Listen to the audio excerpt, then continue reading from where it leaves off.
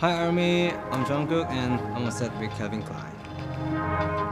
Icon Jungkook is taking fans behind the scenes of his new Calvin Klein campaign, and he served up majorly stunning visuals.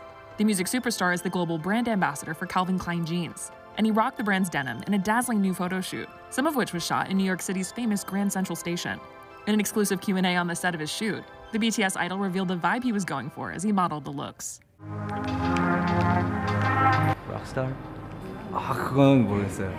근, 뭐 약간 빌런 같기도 하고 모르겠는데 He was definitely feeling good in the look. 오늘 입은 착장 중에 제일 마음에 드는, 드는 착이고 모르겠어요. 켈빈은 왜 이쁜지 모르겠어요. 이거는 갖고 싶어요.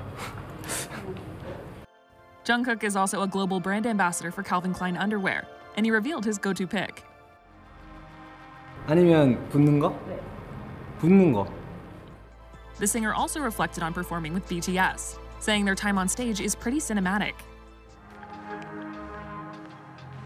저는 그 무대 위에서 멤버들이랑 같이 있었을 때 그때가 참 영화 같다는 생각 듭니다.